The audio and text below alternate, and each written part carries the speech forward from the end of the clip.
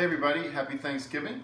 And uh, I'm here to, a lot of you guys have been asking me to try this challenge, the Eggnog Challenge.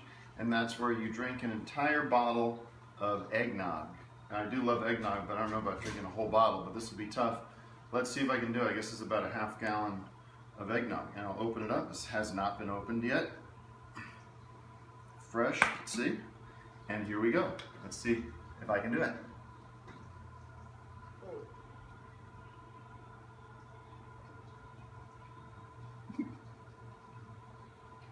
There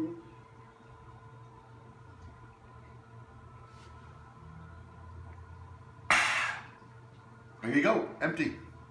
Full bottle of eggnog.